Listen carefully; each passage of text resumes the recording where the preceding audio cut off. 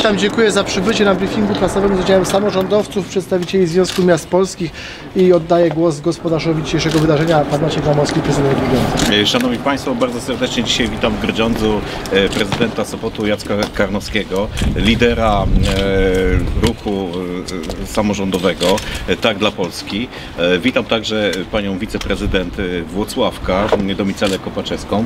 Witam prezydenta Skarczyska Kamiennej Konrada Kryniga i witam, jest z nami też e, dyrektor e, Biura Związku Miast e, Polskich, bardzo ważnej instytucji, która na bieżąco monitoruje sytuację w miastach polskich, małych, średnich, dużych, przekazując bardzo, bardzo cenne informacje dla, dla nas samorządowców. Ruch samorządowy Tak dla Polski jest platformą wymiany doświadczeń, doświadczeń nas, samorządowców na wie, wielu obszarach. Obszarze zarówno e, edukacji, pomocy społecznej, e, promocji gospodarczej, ale także ochrony zdrowia. Dzisiaj spotkaliśmy się w Grudziądzu, aby mówić o, e, o sytuacji w ochronie, w ochronie zdrowia. To spotkanie w Grudziądzu jest nieprzypadkowe. Pewnie Państwo doskonale wiecie, że mm, Grudziądz jako jedyne chyba miasto w Polsce jest organem tworzącym tak dużego szpitala i u nas w Grudziądzu, jak w Soczewce, skupiają się wszystkie problemy systemowe e, służby zdrowia w Polsce. Mówię tutaj chociażby o e, niedoszacowaniu procedur medycznych, o, o braku systemowego sposobu finansowania infrastruktury e, medycznej, e, o brakach, jeżeli chodzi o kadrę, także jeżeli chodzi chociażby o tak zwaną infrastrukturę krytyczną z punktu widzenia bezpieczeństwa państwa, e, bezpieczeństwa wszystkich obywateli, co ostatnie czasy, kiedy na, na nas samorządowców spadła duża odpowiedzialność w trakcie pandemii, gdzie nasz szpital pełnił funkcję szpitala jednoimiennego, co też pokazało, jak ważna jest właśnie taka tego typu infrastruktura. E, Dzień dobry, proszę Państwa. Bardzo się cieszę, że możemy być tak w pięknym miejscu, jakim jest Starówka Grudziącka. No to rzeczywiście wyjątkowa rzecz, wyjątkowy ratusz. E, Bardzo dziękuję Panu Prezydentowi za gościnę. E, Zdrowie jest jednym z sześciu postulatów samorządowych, które podpisaliśmy z partiami opozycyjnymi rok temu w Senacie, gdzie partie opozycyjne się zobowiązywały do realizacji tych naszych postulatów. Między innymi mówimy w zdrowiu o tym, żeby Fundusz Ochrony Zdrowia ten w województwie był zależny od samorządów lokalnych, czyli żeby społeczność lokalna na przykład województwa kujawsko-pomorskiego czy pomorskiego, czy też świętokrzyskiego mogła sama zarządzać poprzez swoich przedstawicieli środkami finansowymi na ochronę zdrowia i pewnie te środki finansowe, te pieniądze nie byłyby przekazywane na różne działalność polityczną, jako jest to w tej chwili, czy rozdawane na granty, czym się okrada po prostu na co dzień naszych pacjentów i potem mamy taką sytuację, że mamy zadłużone szpitale, nie tylko samorządowe, ale także rządowe, bo te rządowe nawet są bardziej zadłużone od samorządowych. Myślę, że o tym będziemy dzisiaj mówili dość szczegółowo. Wśród tych postulatów warto też powiedzieć, że jest jeszcze nauka, są sprawy ustrojowe, są sprawy klimatyczne, są sprawy także mniejszych miejscowości, dalej leż- leżących jak gdyby od szosy, od autostrady, od metropolii, e, czy także chociażby e, sprawa związana z finansami, o których pewnie będzie mówił pan, więcej pan dyrektor, bo te finanse też nie wyglądają dobrze w samorządzie. Samorządy są głodzone, a jak widzicie Państwo, środków finansowych na pieniędzy na telewizję, na propagandę, na e, Wille Plus jest bardzo dużo. Wobec tego stąd też myśmy podpisali te sześć postulatów, o tych postulatach rozmawiamy. Dzisiaj z panią prezydent, z panem prezydentem rozmawialiśmy także o budownictwie komunalnym, e, co jest też bardzo ważnym dla nas problemem, bo takie spotkania zawsze służą wymianie doświadczeń i tutaj na przykład tak powiem, że z Włocławkiem co do mieszkań komunalnych wspólnych programów współpracujemy, wciągamy też w to Grudziądz. Myślę, że będziemy także rozmawiali z naszym kolegą ze województwa świętokrzyskiego na ten temat. Szanowni Państwo, myślę, że nie będzie zdziwienia, że będę mówić o edukacji, bo nią zajmuję się od wielu, wielu lat i również pracą w samorządzie. Pamiętamy lata 90., kiedy samorządy przejmowały szkoły podstawowe, szkoły ponadpodstawowe, kiedy rzeczywiście z wielką determinacją burmistrzowie, wójtowie, prezydenci budowali nowe placówki, e, szkoły się rozwijały, natomiast tak źle jak w tej chwili to nigdy nie było. Subwencja oświatowa, a rzeczywiste nakłady na edukację coraz bardziej się nożyce rozsuwają. Miasto Włocławek tylko w roku 2022 s- do subwencji dołożyło ponad 100 milionów złotych. Proszę zobaczyć, jaka to jest olbrzymia kwota, a przez 3 lata nasz budżet został zmniejszony o 150 milionów złotych, czyli wydatki bieżące które są bardzo ważne dla samorządów, bo to są środki, które wydajemy na naszych mieszkańców, tak jak pan prezydent mówił, na y, zdrowie, na politykę społeczną, również na edukację. W związku z tym nie tylko niszczy się strukturę e, oświaty. Nie mówię o tym, że likwidacja gimnazjum to była najgorsza rzecz, jaka się wydarzyła w wyrównywaniu szans edukacyjnych, ale rzeczywiście odchodzą nauczyciele, ponieważ zarobki nauczycieli są poniżej krytyki. Nauczyciel zarabia w tej chwili mniej niż ktoś, kto rozpoczyna e, pracę. I dlatego są to bardzo poważne problemy dla wszystkich samorządów, ponieważ edukacja w wielu samorządach to jest ponad 60% budżetu. Dziękuję bardzo.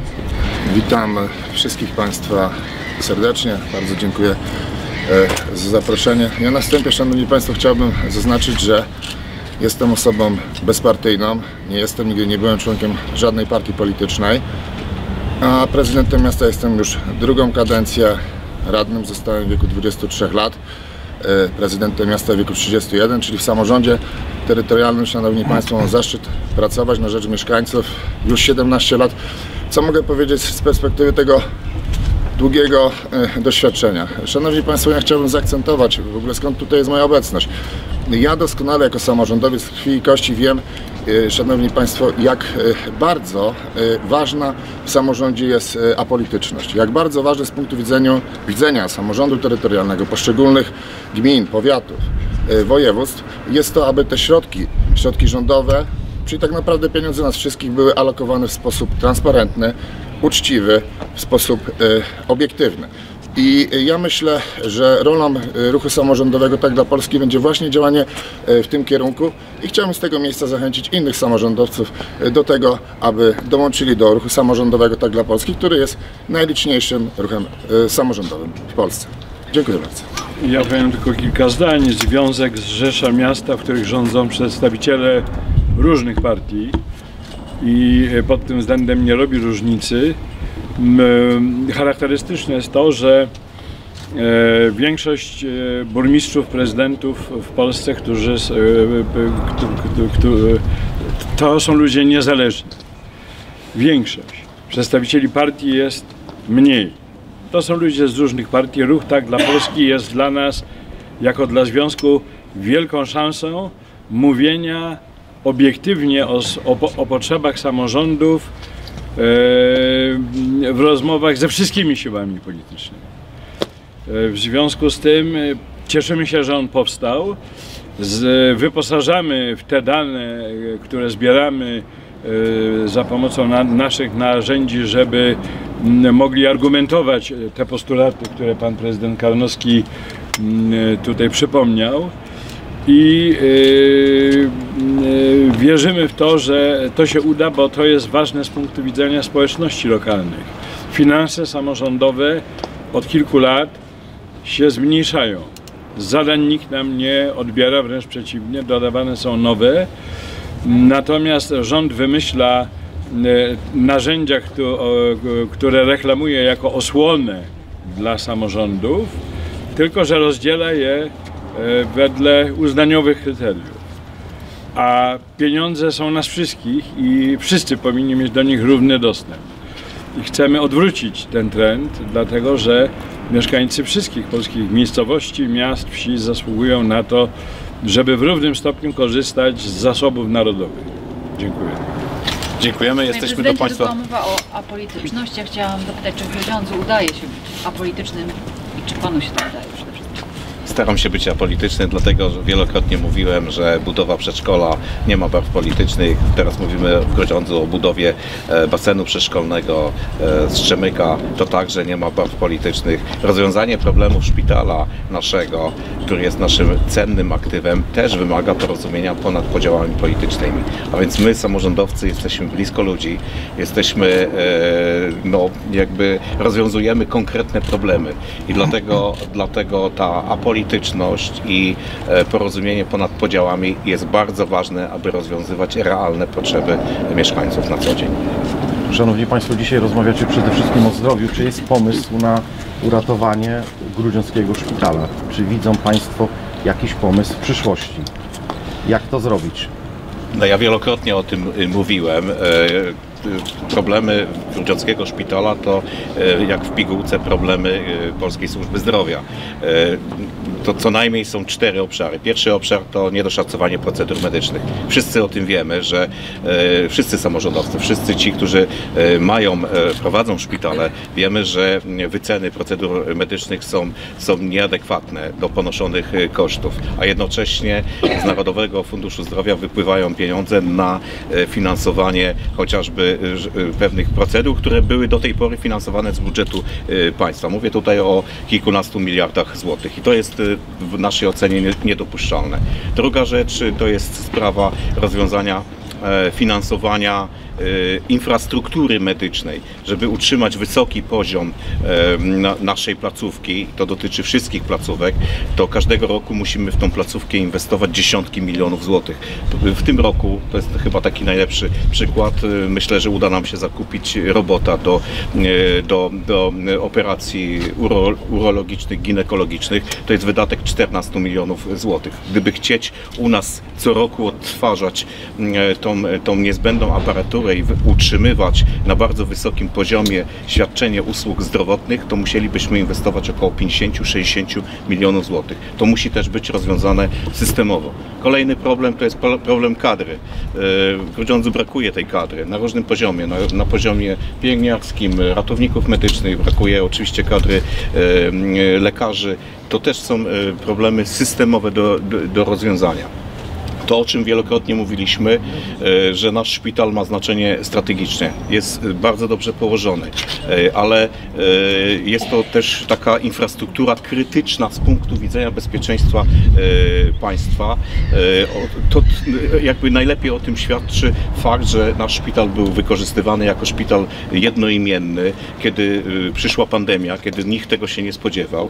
Teraz mamy wojnę w Ukrainie, też nie wiadomo w jakim kierunku to się może potoczyć, więc Państwo musi dysponować taką infrastrukturą krytyczną jak nasz szpital, ale nie może być tak, że e, ta infrastruktura finansowana jest z budżetu miasta.